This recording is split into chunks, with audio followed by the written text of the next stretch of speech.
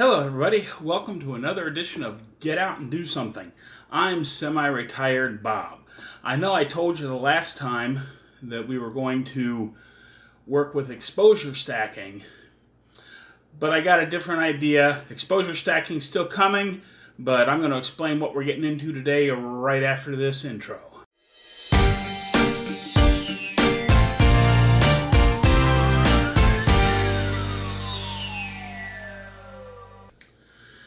Okay, well, I was driving out to work this morning, headed out to Columbus, did my hour and a half drive in the morning. This was Monday morning's work. Um, I'm doing it, I did it today on Saturday because the storm we were supposed to have last night missed us mostly, and we're supposed to get some more snow on Sunday. Sunday afternoon, evening snow always makes for really sloppy roads on Monday morning. And luckily, the Monday morning delivery truck gets in from Chicago first thing Saturday morning. So I just went ahead and ran it out there today because I got keys to the place. I let myself in, get all that done, and now I don't have to mess with bad roads Monday morning if there happen to be some. So while I was driving out through there on my way back, I'm looking at it, and of course, it was seven degrees outside, so there's not a cloud in the sky. Big bright ball of sun in the sky, nothing but blue it's really pretty out there. Um, it's really cold, but it's really pretty. But as I'm driving back in, I get to thinking to myself, oh gosh, I wanted to make a video today and look at that sky, all that bright, harsh light. I'm going to need this, I'm going to need that, I'm going to need to get ND filters and take a tripod out and decide where I'm going to go and what I'm going to do. And when did I become a photo snob? I, uh, and I'm sure I'm not the only one, in my quest to get better at photography, I had forgotten what got me into photography in the first place. Think back all the way back to when you were a kid. Of course, you know, when I was a kid was probably quite a bit longer ago than when you were a kid. But, um, you know, we had those Instamatic cameras that had the little cartridges that you stuck in them with film and the film was a little on the expensive side, but the real expense was taking them to the Photobug to, or the Fotomat, whichever you had in your area, to get them developed. There was a lot of expense involved in taking just a few simple pictures. Um, and you know, your parents would help you out and give you a, a 12 pack of film, or if you were really lucky, you're right uptown, you've got a 24 pack when you were going off to a function of some sort, whether it be a school function or a family function, and what you were supposed to do is take pictures of all the people that were there so you'd have the memories for it. Um, but of course, inevitably, those of us who have become landscape photographers, we did take a few pictures of the people that were there, but even though, you know, we only had 12 pictures, we were walking in and there was a bush that caught our eye or a or a, a flower or just a scene in general caught our eye. So we made the decision and click, we took one of our 12 pictures of that. Usually got yelled at for it afterwards, but I still have a lot of those pictures down in my uh, down in my study in my photo albums. Um, so I decided, and you know, and I'm not the only one this happens to. I was watching a one of my favorite YouTubers, and I understand why he said what he said from the umbrella that he was talking under because he was reviewing and editing other people's photos and all of these people wanted to become photographers or wanted to at least be considered good amateurs. Um, and one of the things he said was, well, this photo just looks like a snapshot. I understand why he said that under the umbrella of what he was doing, but is there anything really that wrong with just taking snapshots um, with our big expensive camera gear? Have we come so far that we now no longer get joy from just taking snapshots of our memories? Um, to get I, I understand there's Instagram, there's our portfolio, there's the websites, everything that we've got going on in our lives and trying to make money tells us that we should go out to the lake or wherever we're going to take our photos and we should set the tripod up just so. We should take our time and compose our photos and you know put polarizing filters on it so the water does so and then put ND filters on it so the picture looks just so. And sometimes he even use one of those great big matte boxes and slide a graduated filter in front of it to either darken or lighten the sky or various parts of the picture. And there's oh my god there's so much stuff that goes into making that photo. And like I said there's nothing wrong with that in a lot of instances because everybody wants to have the next Instagram banger where, you know, everybody on Instagram goes, ooh, look at that.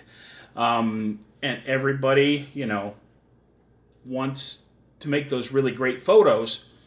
But let's remember why we got into it in the first place. Just to take some pictures to record our memories. So I challenged myself today. I was I had to get out and get a little walk in, even though it was only seven degrees outside. I had to go get a little walk in because I hadn't been out much other than work. Work's been really busy, so I got a lot of walking in at work. But I wanted to get outside and do something today, so I took just my camera, one lens. I took my, of course, my Sony a6400. It's the one good camera I have. I took my Sigma 30 1.4. Um, and the reason I chose that lens is because that's the closest lens I have to what your eyes see.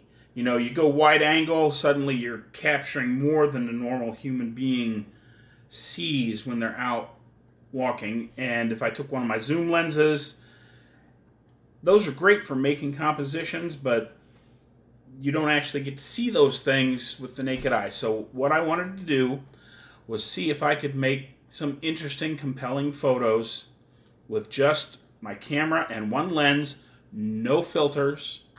I took one battery with me and one memory card, so that limited my time. And all I did is I went out to Chalco Hills and parked over in one of the parking lots and then just did a loop around the boat ramp area on foot, taking pictures of anything and everything that caught my eye. Um, so let's jump into Lightroom and see what I came up with to see if snapshots can still be considered good. Okay, here we are in Lightroom. Let's take just a quick peruse through all of the, there's all the photos I took today. Um,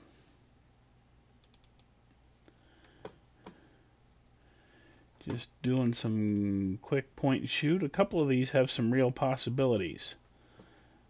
Hey, that's not so bad. That got a lot more of the parking lot that I wanted, but I was just taking snaps, kind of shooting from the hip, seeing what I could find. Um, now, would these be a lot prettier if I took my time and set them up and and did all that stuff? Yes, indeed they would, but these are the memories I have of today while I was out walking around. Um, and there is nothing wrong with these photos. Could they be crisper? Yeah, if I'd set up on a tripod, I probably could have gotten them a little sharper. Um, could have put some filters in, and I can do a lot of editing, see what happens with these. But yeah, that's an acceptable photo. Would these be prettier if it was springtime and there were green leaves on the trees, or if it was fall and there was lots of color everywhere? Absolutely. But let's not forget why we started taking photos in the first place. Because we liked what we saw and we wanted to capture that memory. And that's all I've done today is make some memories. Um, you know, if I was going to try and post this, I'd probably crop it down to get rid of the trash can and, you know, maybe do something with the just between the pole and the pole between the two poles and zoom it in a little bit. That, you know, might make for a fairly decent photo. I like the trees. We got the one leafless tree in the middle of all these evergreens. That actually, I kind of like that.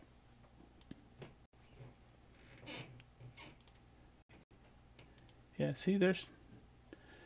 That's. I'm not exactly sure what I was looking at when I took that photo, but uh, maybe it's with these shadows I was looking at. You know, people don't like shooting in harsh light because they get these long shadows. Um, I actually like those shadows a lot of times.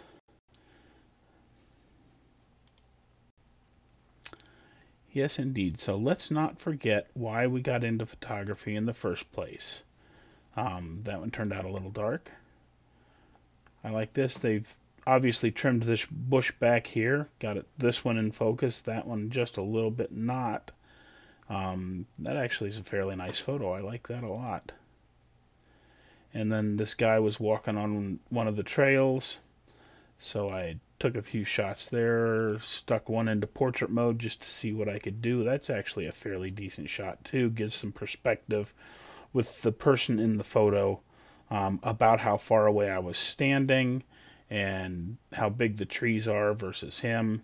If I was going to post this, I'd probably crop it off right about here and zoom it in a little bit so that we only have, you know, about this much of the of the photo. Dark trees against the bright sky. And this is why people don't like to take photos in harsh light because the the trees are all almost silhouette. They're very dark because the sky behind them is so bright. The sun is just off camera over here. Um,